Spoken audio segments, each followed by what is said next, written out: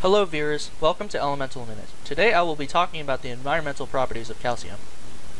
Calcium can be found in group 2 of the periodic table of elements, or the alkaline earth metals. Calcium is mainly found in limestone, which is composed of calcium carbonate.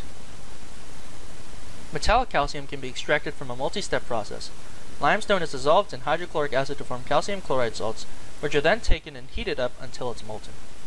The molten salt, or fused salt, can then be electrolyzed to form metallic calcium. Elemental calcium is less used than its common compounds.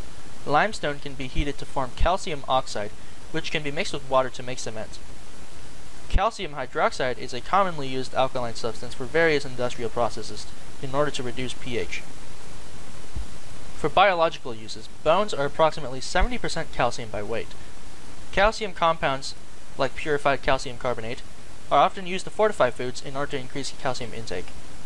There are also other uses that won't be covered here since we don't have enough time. Certainly it is possible to overdose on calcium, although it takes a considerable amount to do damage. Ingesting over 2,500 milligrams of calcium daily will do the trick, increasing risk of kidney stones and getting in the way of iron and zinc absorption, which are also essential nutrients for uh, humans. Eating metallic calcium is not advised.